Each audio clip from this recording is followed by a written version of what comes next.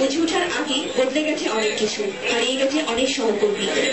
টানা দেড় দিন এক অবস্থা থেকে বেরিয়ে এসে চোখের সামনে ঘটে যাওয়া মুহূর্তগুলোকে দুঃস্বপ্ন মনে হচ্ছে লেফটেন্যান্ট কর্নেল সৈয়দ কামরুজ্জামানের। মেনে নিতে পারছেন না এই নৃশংস হত্যাযজ্ঞ। আমি খুব নিয়ন্ত্রণ করতে পারছি না। শুধু যদি অস্ত্র থাকতো, তাহলে আমি আপনি বোঝাতে পারছি যে শেষ খেলা বলতে এত সহজে এই জিনিসগুলো তারা করতে পারতো না। কিন্তু তারা করে ফেলল। চোখের সামনে মহাপরিচালক থেকে শুরু করে পিপিলিকার মতো মেরে ফেলল আমাদের লোকগুলোকে। বর্ণনা করলে পঁচিশ ফেব্রুয়ারি পিলখানার দরবার হলে সকাল নয়টার কিছু পর থেকে ঠিক কি হয়েছিল?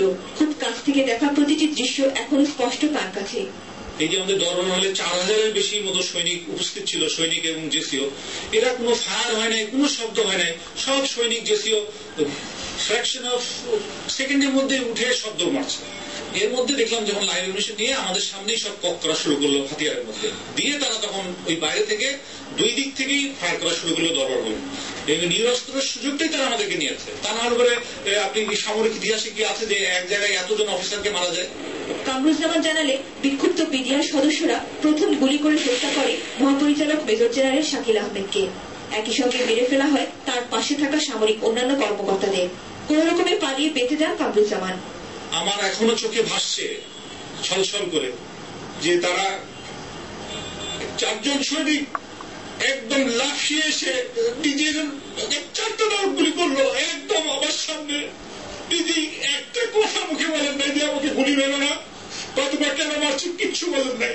জাস্ট দিদিকে মারলো দিদি আমার চোখের সামনে। ডান কাছ আমি নিচে পড়ে গেল, একদম ডান কাছ পড়ে গেল। ডান কাছে পড়ে দেওয়ার পরেই আরও দুইবার আবার তোমার দিকে করে গুলি করল। গুলি করার পরে আমরা যারা পিছিয়ে ছিলাম, আমরা আগায় যাওয়া বলল কেউ আগায় আসবে না বলে আমাদের দিকে গুলাগুলি শুরু করল। সবাই শুয়ে পড়ল। আমি আস্তে করে ট্রলিং করে আমি ওই ভেতরে ঢুকে গেলাম।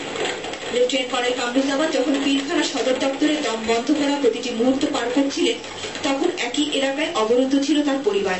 বেঁচে ফিরে আসবে ভাবতেও পারেনি তারা। না তখন তো লাইলা লাইলা সবাই করছি লাইলা করছি আমার বোন ওই সময় ফোন করছে বলছে আমরা শেষ হয়ে যাব কারণ অনেকবার দরজা বাড়ি দিয়ে আবার পুরো দরজা ফেটে গেছে। মন খারাপ হয়েছিল যে ডেড বডি পাওয়া যাচ্ছে অনেকজনের।